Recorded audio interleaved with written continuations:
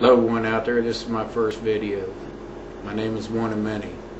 I wouldn't have made a video, except I seen what was going on with the bunker report, and it, quite frankly, it pisses me off.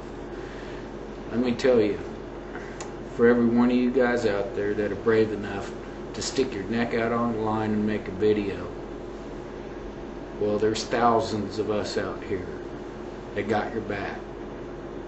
So I'm calling for all my fellow patriots to stick your neck out on the line and make a video.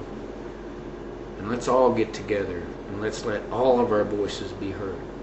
Not just the few, but the many. I'm going to do it because it's time to do it. It's the right thing to do. And if we don't all unite before too long, we ain't going to have nothing to unite for.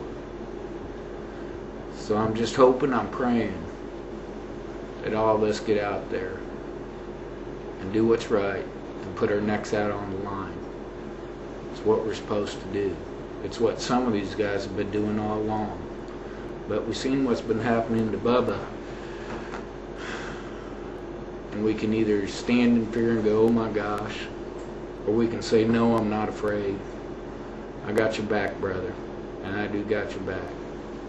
Thanks to all you patriots out there. Let's all unite. Bye.